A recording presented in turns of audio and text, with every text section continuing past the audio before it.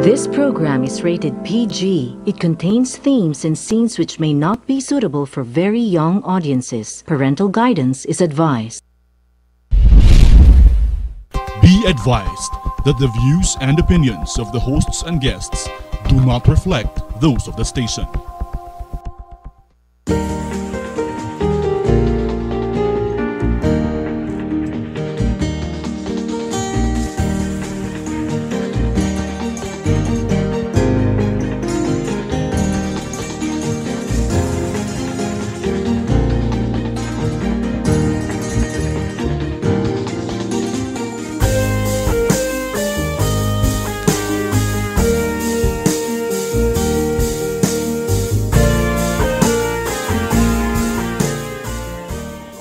Welcome again to Journeys, Chronicles of Our Asian Century, and this is for the uh, week of uh, September 25 to October 1st. I'll report to you about the people and places, about uh, news and developments in our region, and of course our focus on Philippines and China. We have our guest uh, who will observe through this, and then uh, we will have a discussion.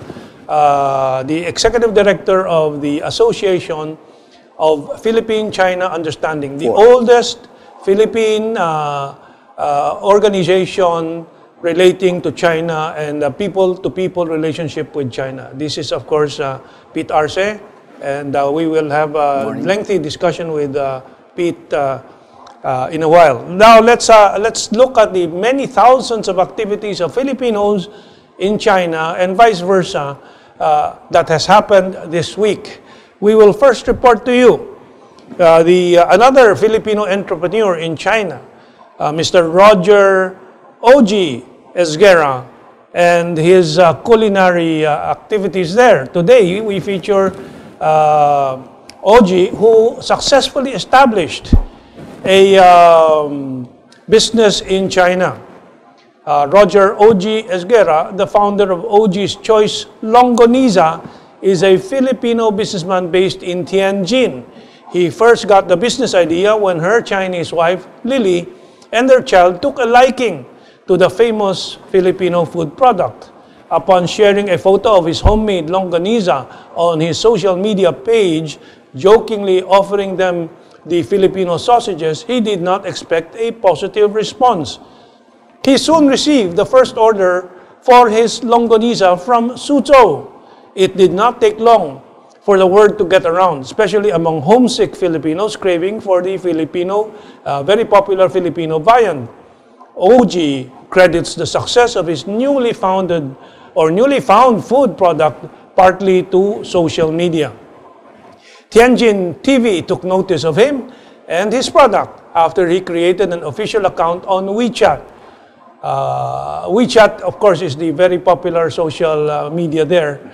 Uh, they were invited to share the process of making his famous longaniza on TV and to be uh, participating uh, in one of his programs, uh, of its programs, quote, Challenge Wei Zui Zi, unquote, where Roger and Lily placed second place. At present, uh, OG's Choice Longaniza sells four variants of longaniza in Tianjin.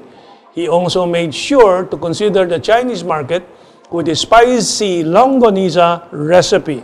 Other Filipino food products such as embutido, daing na bangus, and bagoong are also sold under his brand.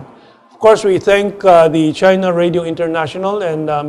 Michelle Adige, uh, Michelle Adige and um, and uh, Ms. Jade Sian uh, of China Radio International for these uh, uh, reports on uh, Filipinos and their activities in China.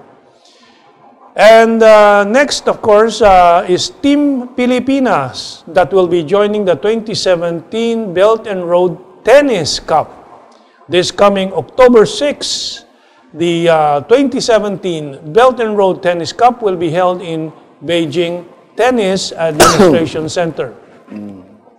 The aim of the event is to promote the Belt and Road Initiative through sports and cooperation between uh, countries. It is organized by the Beijing Tennis Association and Silk Road Cities Alliance. Team Pilipinas will be participating in the said tourney Joining them is one of the sports event's active organizers, Senior Superintendent Neil Alisangan, an attaché of the Philippine National Police. Juvan Divinagracia, who has been working as professional tennis coach in AGTA or the Academy of Haidian Foreign Language School in, uh, in Beijing for five years. He will also be present. And uh, after this uh, tennis uh, report, uh, activity from the uh, Philippine Embassy in Beijing. The Philippine Embassy in Beijing holds lectures on air pollution, health, and wellness. Uh, and uh, this is, uh, we thank the Embassy of the Philippines in China for this report. The Philippine Embassy successfully organized a lecture on China's pollution and how it affects the environment on uh, April 6 of 2017 at the Centro Rizal, which was ascend- attended by 40 participants from the embassy and the Filipino community. The topic was very relevant as China's air pollution becomes extremely high, causing harm to humans as well as the environment.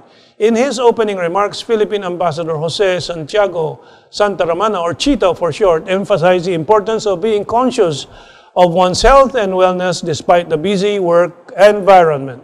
The resource speaker, Dr. Juan Paulo Velosilio from the Philippines, who practices in the fields of wellness and integrative medicine, cancer prevention, integrated fitness and nutrition, anti-aging and weight management, presented some facts about China's pollution and its harmful effects on individuals and the environment.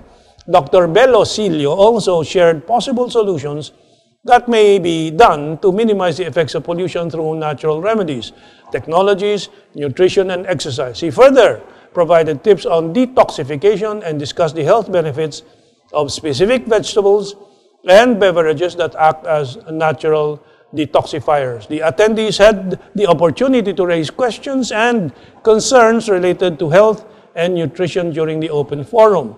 Uh, so our uh, embassy in Beijing is very active, and of course we know the uh, Beijing government has been taking uh, very uh, uh, serious steps in curbing pollution in Beijing. The activity concluded with a simple salu-salu wherein participants exchanged insights and ideas on eating healthy and staying fit.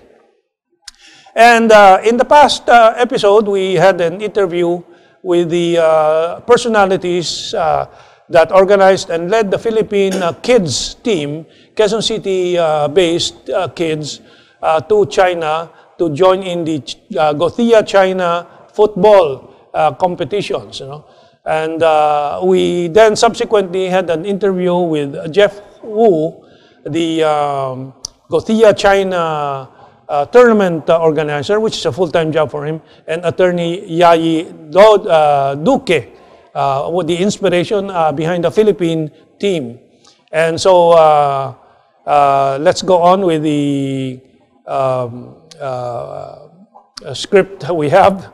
the Philippine Quezon City Youth League's participation in the Gothia China International Competition and interview some of its organizing personalities such as Kagawa J.R. Obales of Quezon City and Coach Ronaldo Patulin of the Sports NGO LAOS last episode. Uh, subsequently, we interviewed the driving force behind the Philippine Gothia uh, football efforts, attorney Yayi Duque, and uh, Gothia China's young dynamic tournament director, Dr. or Mr. Jeff uh, Wu, who had to leave for Malaysia before our regular taping here in the studio. So we taped this previously in uh, Mama Rosa, a restaurant in, at Capitol, uh, at uh, Capitolio. And here's a preview of the interview, which you will watch next week in this segment of ours. Okay, let's. Yeah, I started as a player and ended up uh, helping kids develop. So we're having this program, meaning the Laos Football Club is having a program for the youth. And included therein is the program that lets kids from Quezon City go to Gothia Cup. And so we we started this with a communication to uh, Shenyang because apparently Quezon City is the sister city of Shenyang. So it started from there. Then uh, um, Rodolfo, the the one in charge of Quezon City, was able to get in touch with uh, Jeff here, and that started it all. And it was a difficult um, preparation because it's new. Like we have to go to the Chinese embassy for the visas, and we have to go to DSWD for the permits of the kids. So it was um, a roller coaster ride for us because it, it was new, but uh, we were able to get there and play. And we thank Jeff for uh, inviting us and also for coming to the Philippines to follow through with our program. Okay, uh, do we have a segment uh, with uh, Dr. Uh, Mr. Um, uh, Jeff Wu? Okay, let's uh, roll it too. Hi, I'm the tournament director uh, of Gothia Cup China. I'm mainly responsible for uh, the in overseas marketings, uh, and also during tournament, I'm responsible for the logistics around the fields, the match schedule, the referee, the fixture, right? Uh, Gothia Cup China is the biggest, the most international, one of the most influential youth tournament in Asia. Uh, this year we have uh, 300, uh, 300, uh, three, uh, 300 teams from all over the world. Uh, roughly we have 31 nations and regions. And how we started with uh, Quezon is it start from email. Yeah. Yeah, Rodolfo just emailed me and he told me that Quezon, right, is the sister city with Shenyang. And he want to have the team from Quezon to China. I said, wow, that's what we want too. So through football, this two city is bonding. And f- with football, start from kids, right? Mm-hmm, that's right. Then we have how to say when they grow up, I hope the kids from Quezon will have a good feeling about China, and also I want them to feel that this is their second home in China. They have family in China, and I hope this relationship will keep going on.